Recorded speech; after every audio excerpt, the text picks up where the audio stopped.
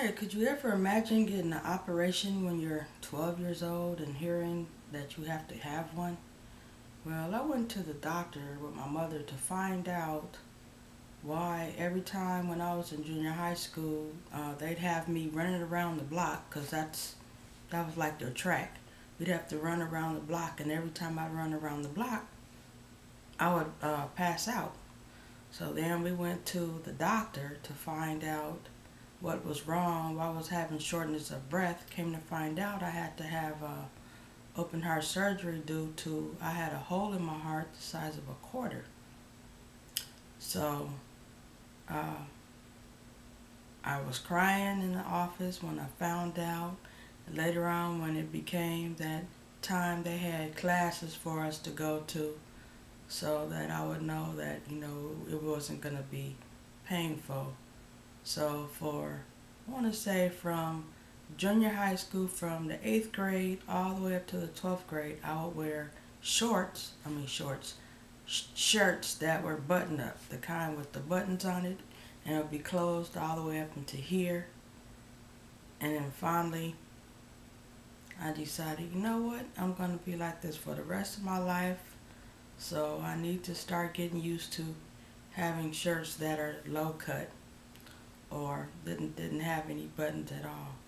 And bathing suit, I would make sure that at that time the bathing suit would come all the way up here so that people wouldn't see my scar. But then, I, you know, I realized, hey, I'm going to have to deal with this for the rest of my life, so might as well get used to it. So now I'd wear bathing suits that would come to like right here that were low cut. And I just wanted to give you some information about not being, not having um, being afraid of having surgery because most of the time, 99.9%, percent that when you get surgery, you're okay, you come out alive. So I just want to tell you that I was in the hospital for 10 days and the days when I had to have, when I had surgery, uh, after I had the surgery, this is my scar right here. And what they would do, they would have tape on it so that it would they would like close it up, and those would eventually dissolve and fall off. Then the doctors would come in every day and they would say, you know, if you want to get out of this hospital, you need to start getting up and getting around and walking around so that you want to get better so you can I have to excuse me, I have allergies in the morning. I tend to blow my nose and my eyes are watering and stuff. So um, I need to get up and walk around. Good thing about being in a hospital is you're able to meet a lot of new friends. Besides the nurses and the staff, you also have people that you probably never even seen before. I had a roommate, her name was Kelly. We wind up being pen pals shortly after that. Then I had family members that came to see me. Here's a picture of me when I was in the hospital.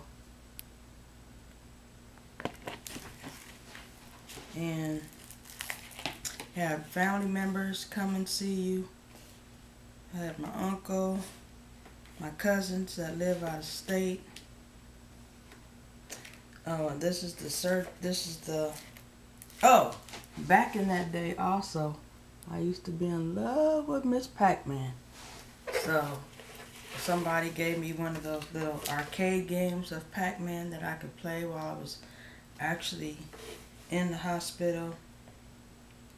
And my mom gave me a shirt that said, I love to play Miss Pac-Man. my auntie even came in and did my hair some days. I had cousins.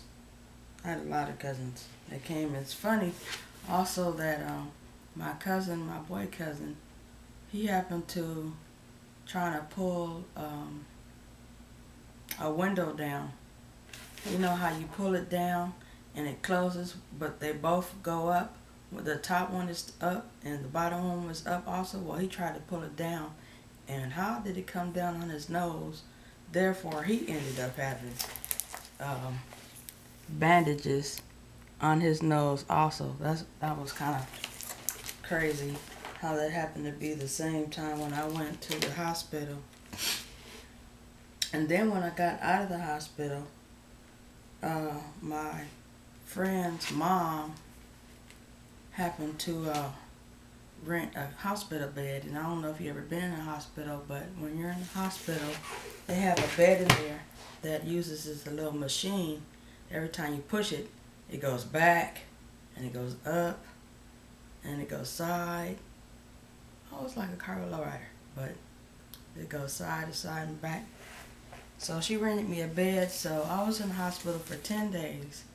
And then when I got home for a whole week, extra week, I got a hospital bed sent to my house, so I was able to sleep in that. And that was fun, you know, when you're 12 years old, that's enjoyment. But that food, yeah, I don't know, I guess the food still hasn't changed because hospital food is still kind of nasty. And I would have people bring me food in when I was in the hospital.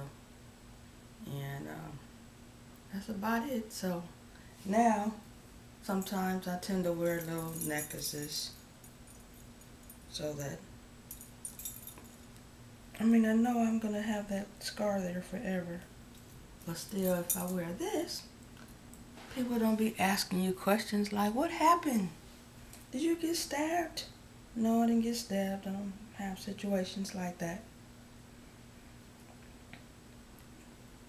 So, anyway, that's my uh, information about going to have surgery and finding out about if you need surgery or not.